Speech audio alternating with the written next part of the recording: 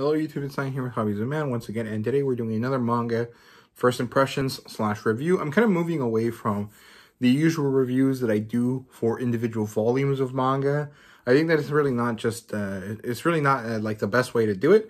So um, starting this year, I'm going to do uh, reviews for manga in arcs, plus first impressions, plus final reviews for the whole series after I finish reading it. So uh, that doesn't really matter. Today we're talking about freezing. Now I don't have a I don't have them physically anymore because I actually just sold them. If you watch my unhaul video, um, I managed to sell them uh, really quickly right after putting up the um, the Reddit post on Manga Swap, and um, I don't have them anymore. So here's what they look like.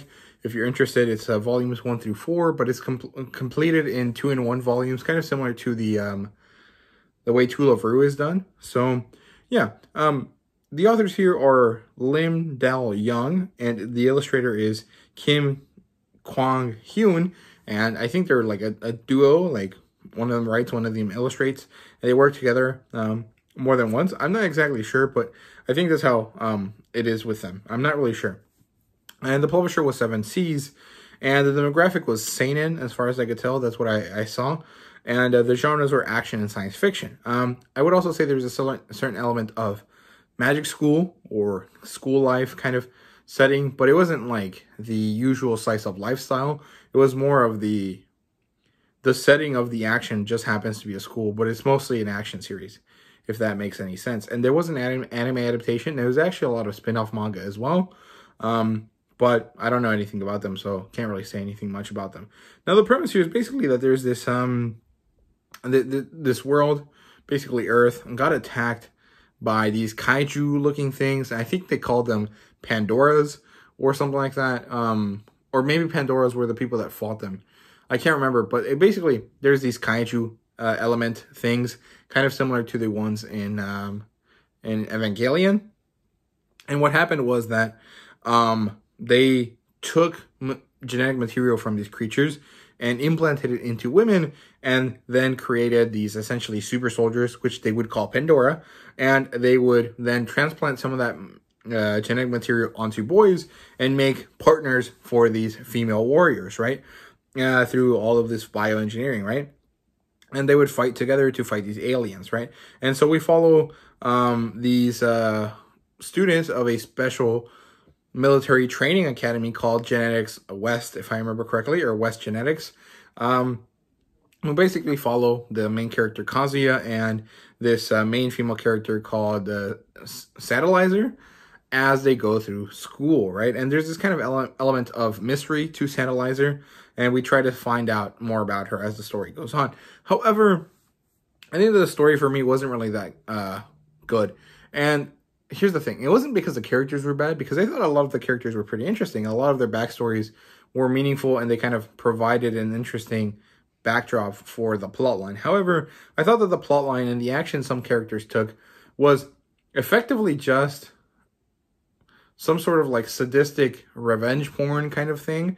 And I don't really understand why, because um, they would justify it with this kind of idea that, you know, Satellizer has done something to offend the precarious kind of um, balance of power between the academy. This kind of vaguely military hierarchy that exists, right?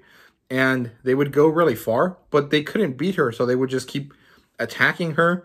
And all of these attacks would just kind of culminate in these very kind of rapey situations, these kind of like molestations that were really not good that were played up or painted in a way that was kind of uh, supposed to be fan service. And I personally didn't find that to be very good. Um, actually, I wasn't like disgusted or anything. I'm very good at kind of being able to, uh, you know, keep the fact that it's fiction at the forefront, forefront of my mind and kind of uh, being okay with a lot of things that maybe other people might not tolerate. I don't really care all that much about that necessarily. I just thought that that storytelling component was actually quite bad because it doesn't really lead to anything meaningful. It's just kind of this repetition of these situations in order to basically have this kind of like weird fetish happen. And I think I, I find that to be very weak writing. And so I didn't like that. But everything else about the story was really good. It was just that that specific kind of uh, situation that would happen was kind of annoying and not the best. But overall, quite good every in other uh you know in every other respect. It's just I couldn't get over that one you know negative thing, right? So that's basically the issue there. Um, but overall, I thought that it was interesting. I thought the um, characters were kind of compelling. Satellizer was basically um, the half uh, half daughter or of this um, or this the the daughter of a the bastard daughter of this kind of uh, fancy guy. And um, she had a very interesting relationship with her mother and with a with a with a man that uh you know had sex with her in order uh, like had sex with her mother in order for her to be born. Um, that kind of led to the uh, actual wife and children of this guy to kind of hate her in a weird way. And so eventually this kind of caused some trauma. And now she's basically um, unable to kind of deal with uh, being with others, right? And then there's this guy Kazuya who lost his sister and who's basically a very general good guy and in the kind of shonen style in the and um, they have they develop this relationship through the fact that Kazuya just finds her interesting because she reminds him of his sister who died protecting uh, the world from these uh, evil kaiju things, right? So overall, um, I thought that the characters were interesting. I thought that the plot line was generally okay, except when it turned into this kind of weird like fetish thing that I didn't like all that much. And I thought the world building was kind of interesting. Uh, these evil things, which we don't know anything about. I don't know if they're aliens. I don't know if they were advanced, uh, you know, humans. I don't know whatever they were, but um, they kind of posed a threat. And so humanity had to evolve and develop technology in order to fight them.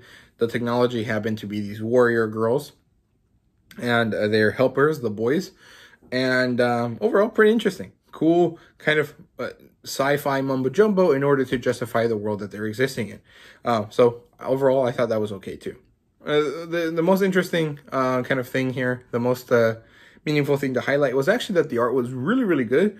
Um, the characters were very really well done. Uh, the female characters specifically, the male characters kind of suffered a bit, but um, I, I kind of understand that because this kind of was definitely set up to be an ecchi kind of series, and so of course it would make sense that the female characters are important and the male characters uh, don't really matter all that much in terms of design, right? So I think the artwork was really awesome. It was very good. It had a lot of good movement and um, uh, kind of dynamic feeling to it. Uh, the female characters were designed very nicely, and uh, the mechanical design or the alien design, whatever it's called, of their armor, and when they activated their powers was really, really good. But it did have this kind of very distinct, like, not Japanese drawing style to it, which is kind of weird to say, but the more I'm kind of familiar with old school manhwa, or old school, um, as in like 20 years ago, compared to modern webtoon manhwa, um, I'm noticing that there's a very distinct kind of vibe to it. Um, kind of Boichi's earlier style without Boichi's like ridiculous ability to kind of convey the human figure, kind of similar to the Breaker actually. And I'm noticing more and more, and sometimes I can be like, yeah, this isn't really manga. This is like Korean people drawing this, right? Or, or, or like maybe not necessarily Korean people, but like not Japanese artists working in this uh, kind of specific style that is kind of noticeable compared to you know the usual manga style. So I think it's interesting, but overall I think it's really good. It's not a, a, a this or anything that it's not Japanese feeling. It's just a distinct kind of feature that I noticed that I thought was kind of interesting to mention there. So yeah, overall uh, the art was really good. The fan service was kind of bad. Like, um, look, I'm not a person that has issues with fan service. In fact, I find that most of it is kind of, kind of fun. Um, however, the fan service here was not the best. A lot of it was really um, kind of boring. It was all like upskirt shots and kind of like, oh, the wind blew back her skirt so you can see her panties. All of that stuff is kind of boring and it's kind of ugly and like not very interesting. And I think that is like garbage. Like, wh- why would you waste your time doing this, right? Uh, as fan service goes, this is the worst type of fan service that you could make. Why would you even bother doing that? And the problem is that a lot of the more like fan servicey uh, scenes that were also drawn really well were also part of this kind of rapey situation that was happening. And so it soured the fan service quite a bit. It was not exciting or enjoyable because you're like, oh, these people are like basically, you know, assaulting this girl. This is not good, right? There was a few scenes that were okay. Like there were some bath scenes and some scenes where kind of characters are trying to decide what to wear. I thought were pretty cute. Um, but generally, the fan service was uh, just not the best because it was drawn well, but the situation surrounding it was not good, and the kind of um, the specifics that it focused on were just kind of mediocre. It's like something that would be really exciting if you're 10, you know, if you're like a 14 year old boy or a 13 year old boy, you know, like a preteen or a young teen, but like anyone else is going to be like, this is like dumb. Like, why? why is this exciting, right?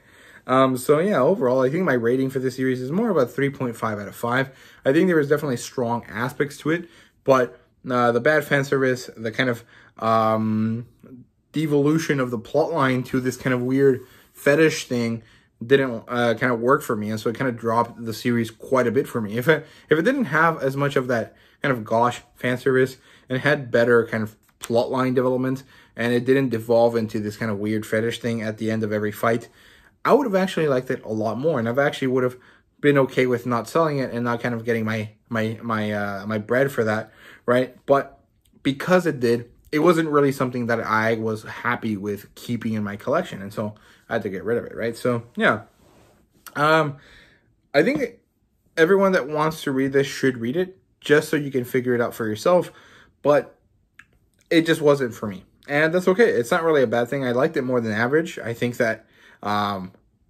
it was good. Generally, just uh, too many aspects of it were not really for me, and it wasn't like. It, the rest of it wasn't good enough for me to overlook these aspects that were not for me. So yeah, there you go. I hope you guys enjoyed this video. If you did, please would like, subscribe, and comment down below. Let me know what you thought. And uh, yeah, thank you guys very much for watching. See you guys later.